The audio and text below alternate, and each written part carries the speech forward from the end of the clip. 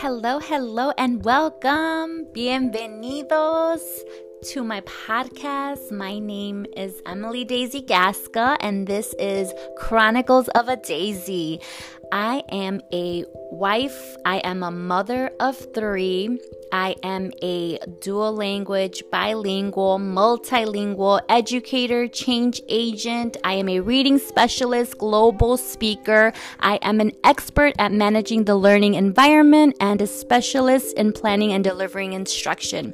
I am also a literacy curriculum developer, and I am here to pour into all of you and share my journey, share my life, share tra- the transformations that have taken place. And I want to help you fulfill your purpose, your destiny, and equipping our future generations. So thank you for being